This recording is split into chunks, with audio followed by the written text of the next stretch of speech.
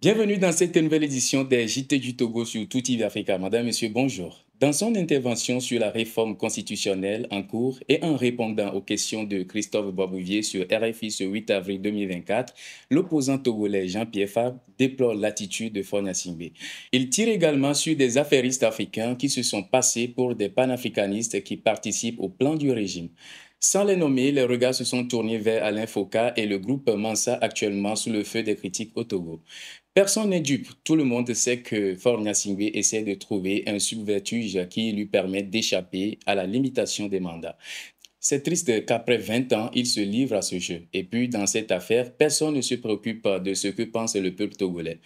Je pense que le Togo est devenu le champ d'expérimentation d'une poignée d'affairistes africains qui se réclament du panafricanisme, qui, à mon sens, ont trouvé un chef d'État opportuniste pour appliquer leur thèse qui lui conviennent de rester au pouvoir ad vitam aeternam, a laissé entendre le président de l'ANC. Avant Jean-Pierre Fabre, le journaliste togolais Ferdinand Haïté avait déjà accusé Alain Foucault et d'autres membres de Mansa d'avoir participé à l'élaboration de la nouvelle constitution décriée par de nombreux Togolais. L'attention suscitée par ce document apolémique avait poussé le président de la République à demander une seconde lecture à l'Assemblée nationale après concertation des différentes couches de la société. Les députés togolais démarrent ce 8 avril 2024 les consultations sur la nouvelle constitution à l'intérieur du pays. Cette initiative, voulue par le président Faure Singbe, vise à recueillir les avis des citoyens sur les réformes constitutionnelles en cours. Selon les informations, seuls les chefs traditionnels et les groupes organisés seront autorisés à participer aux discussions avec les délégations parlementaires.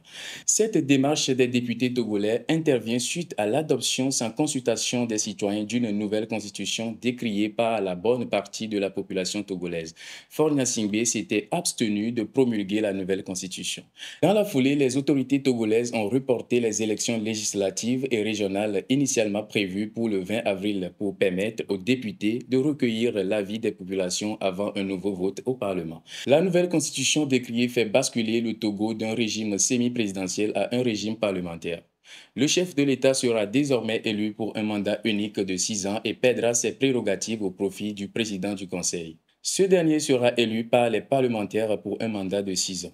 Le gouvernement togolais se lève contre les fausses informations qui sont diffusées ces derniers temps sur les réseaux sociaux. Dans un communiqué conjoint ce 7 avril 2024, le ministre de la Sécurité et de la Protection civile et le garde des Sceaux et le ministre de la Justice et de la Législation demandent à toute la population de respecter la déontologie et l'éthique en matière d'information et de communication.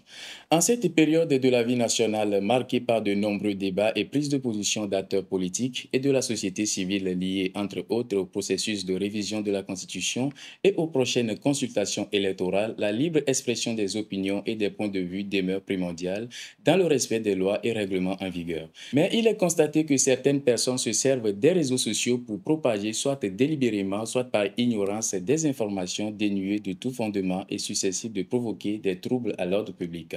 Pouvait-on lire dans le communiqué? Face à cette situation, les deux ministères ont également rappelé que les auteurs de ces fausses informations et leurs complices s'exposent aux rigueurs de la loi. Le document précise que le relais d'informations via les médias traditionnels ou par le truchement des réseaux sociaux reste soumis au respect de la déontologie et de l'éthique en matière d'information et de communication et généralement à un devoir de responsabilité et de vérification des contenus partagés.